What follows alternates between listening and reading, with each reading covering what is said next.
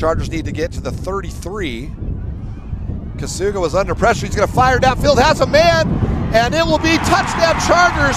Kai Meza. Chargers on the move, second long. Nice pass. Jerome Myles has it. He'll turn on the Jets. Touchdown Chargers. Jerome Myles comes up big. The Fourth and goal at the eight.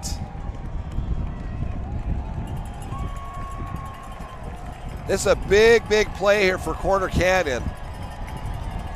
Trying to hold IMG out of the end zone.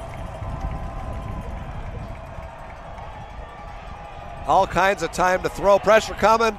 And Make a tackle. Make a tackle, the Chargers boys. There you hold go. him. Great defense. Zion is a big boy, and there he is. Touchdown Chargers.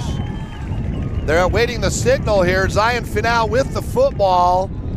And there, we it go. is. Touchdown Chargers. Well, the middle of the field looks wide open too. I wouldn't mind seeing something across the middle here. And that's right where they go, wide open in the middle. and Good I mean, you just got the feel that it was the parting of the seas down the middle. Again, Good middle of the in the field looks open.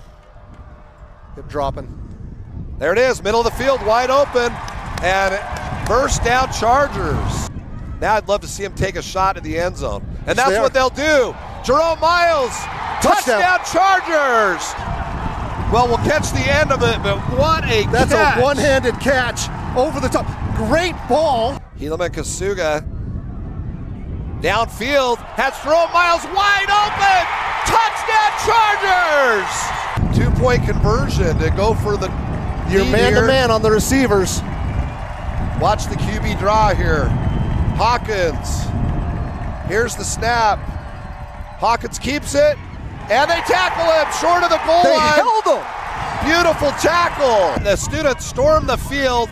Chargers pull off the biggest upset of the season across the country as they knock off the IMG Academy out of Florida.